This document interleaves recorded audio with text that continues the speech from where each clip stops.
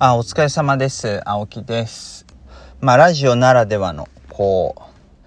えー、まあ、解説というか、まあ、僕自身の、まあ、この、その、一つ一つの作品に込めた思いというか、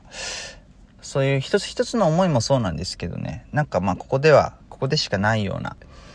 えーっと、よりこう、パーソナルな情報も含めて、えーお届けできたらなと思ってます。えっ、と、今もちょうどフィッティングの時期を終えてですね、えー夏のツアーに向かってっていうところでし、でした。で、まあ、あの、今、いろいろこう手掛けさせていただいているアーティストさんも、あの、今までさせてもらったアーティストさんもそうなんですけれども、共通して言えるのって、やっぱ、皆さんレザーパンツが好きなんですよね。なんかステージ上で絶対的にこう安心感があるというか、なんか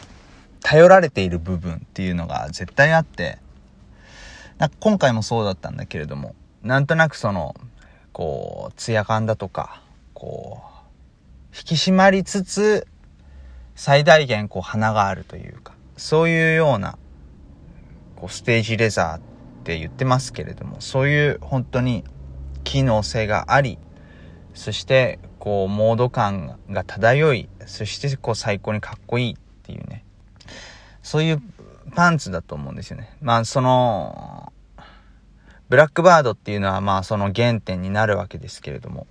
多分皆さん YouTube とかで、あの、見たら絶対わかると思うんですよ、こういうのって。例えば、その、X の YOSHIKI さんとかにしても、ビーズの稲葉さんにしても、もう20年前からこう変わらないスタイルがあるわけじゃないですか。で、ドラムを叩いている時とか、えー、みやびさんもそうだけれども、なんかギターを弾いている時とかって言っても、こう、下半身は絶対、あの、圧倒的にレザーパンツのことが多くて。で、まあ、近年で言えば、ね、紅白にも出場、あの、されたけど、ラストロックスターズとか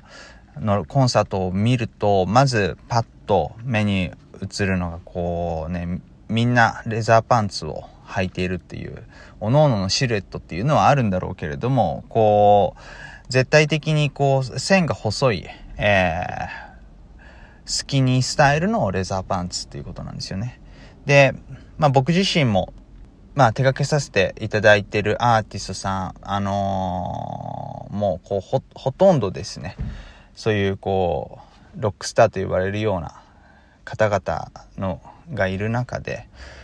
まあ、圧倒的に、まあ皆さん、そういう、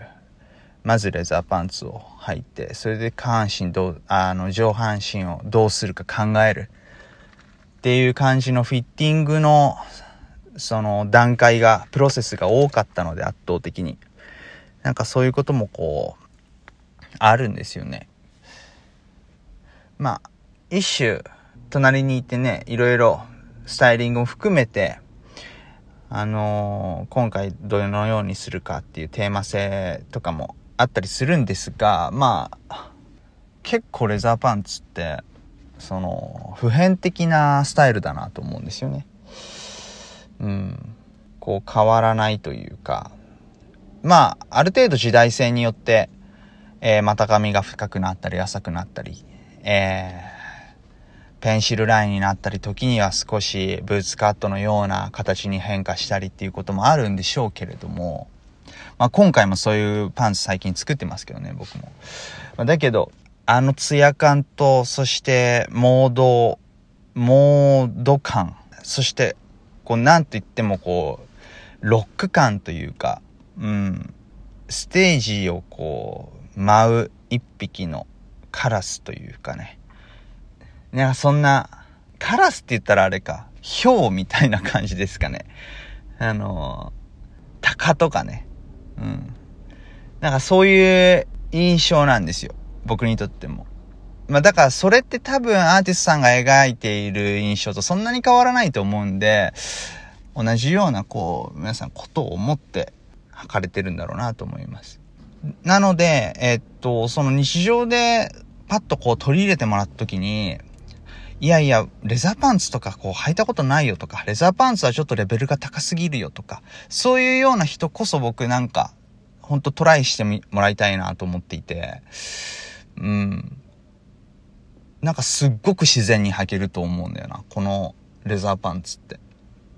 まあ、あまりにも、まあ、スタイルとしてこう、完成されたものだからこそ、まあ、そういうことが言えると思うんですよ。僕もなんか実験的なものづくりの中でやってる、じゃあ例えばレッドジャニアリーだとか、えっ、ー、と、スコーピオンだとか、ラストスコーピオンだとかっていうものって、もちろんこれだと思ったものをやってるけど、えー、頭の片隅には、こう、進化をしながら作っているものだからこそ、なんか、トライしてもらいたいなっていう、まあ自分自身の体重も含めてね、そう思ったりするんだけど、なんか、このブラックバードって、圧倒的にこう完成されてると思っていて、素材なり、シルエットなり、まあ、そのデザインなりっていうところが。なので、こう、履いてもらった時にこう、すっごくこう、腑に落ちる人ってすっごく多いと、まあ僕は確信してるんですよね。そういう、今まで、えっ、と、ファガッセンのスタイルっていうのも含めてあんまりこう、トライしたことがない方でも、なんかこれを履いてもらうと、あ、なんとなく僕が言いたいことってわかるのかなとは思っていて。ですので、えっ、と、素材とかデザインとか、まあもちろん、こう、歴史ね、あの、紐づいていってもわかるように、